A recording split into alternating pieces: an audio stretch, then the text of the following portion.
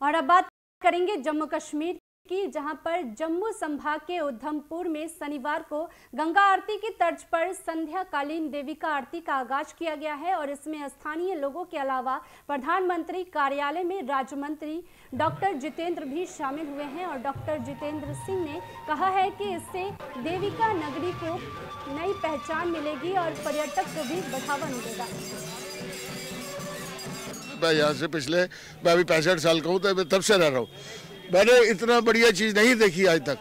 मेरी आँखें इतनी भर आई है, नमी से भर आई है कि इतने, इतनी खुशी कि ये क्या we were not proud of our culture and we were there was hardly anything which we could be proud of there was dirt everywhere गंदगी और there was no development absolutely भाई, हमें तो हमें तो मैं तो बीजेपी की और डॉक्टर साहब की आँखों का, कायल हूँ कि उन्होंने उन्होंने इसको पहचाना कि हमारे को क्या चाहिए, हमें हमारा कल्चर चाहिए।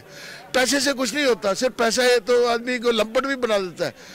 कल्चर जो इम्पोर्टेंट है that is the most important thing और देवका में हमारा कल्चर छिपा हुआ है। आज गवर्नमेंट ऑफ़ इंडिया की डायरेक्शंस थी, नदी उत्सव की, और पूरे देश में ये नदी उत्सव मनाया जा रहा है। हमने सोचा, उधमपुर देविका में बसा हुआ है, और देविका उधमपुर में बसी हुई है। और आज आपने ये नदी उत्सव देखा, ये पहला था। हर रेगुलर फीचर बनाने के लिए हम अब मेहनत करेंगे। और अगले चौदह दिन के बाद मेरी कोशिश ये है कि हम इसको रेगुलर फीचर बनाएँ। पंडितों के समूह से मेरी बात हुई है। जो दिन वो तय करेंगे, उस दिन हम यहाँ पर हर की पौड़ी जैस, की तरह, हरिद्वार की तरह यहाँ पर करेंगे। एक ही रिक्वेस्ट है, मुझे ये मैसेज देना था जो है हमारे पूरे उधमपुर को, कि वो बोलना कि, देविका माई हमारी है। मुझे खोखला लगता था। के बाद उजड़ा पड़ा था, वहाँ पर भी कार्य प्रारंभ हो चुका है। इसी प्रकार हाईवे विलेज का जो कॉन्सेप्ट हिंदुस्तान में आया तो पहले दो हाईवे विलेजेस में से एक उधमपुर में और एक कठुआ में। कठुआ में कुछ काम रुका है क्योंकि नेशनल हाईवे की वाइडनिंग हो रही है, यहाँ गड़ी के पास वो काम जारी है। एक्सप्रेस कॉरिडोर का काम जारी है।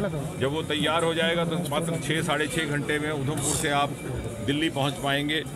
किसी को रेलगाड़ी हवाई जहाज़ में बैठने की इच्छा नहीं होगी, घर के आँगन से गाड़ी निकाली और कभी भी आपकी मंशा करे आप दिल्ली पहुँच जाएँ। और मुझे लगता है कि एक एक जो इंडस्ट्रियल स्टेट का काम शुरू हुआ है, नई इंडस्ट्रियल पैकेज के माध्यम से, उससे युवाओं के लिए बहुत सारे अवसर होंगे स्टार्टअप्स के लिए। यहाँ